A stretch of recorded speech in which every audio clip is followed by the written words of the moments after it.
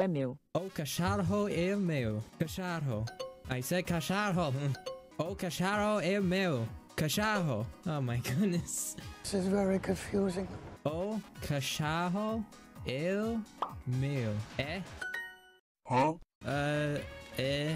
No, it's eh, right? Or ista? No, it's Easter. It's Easter. It's Easter. It's Easter. I'm not going crazy. It has to be Easter.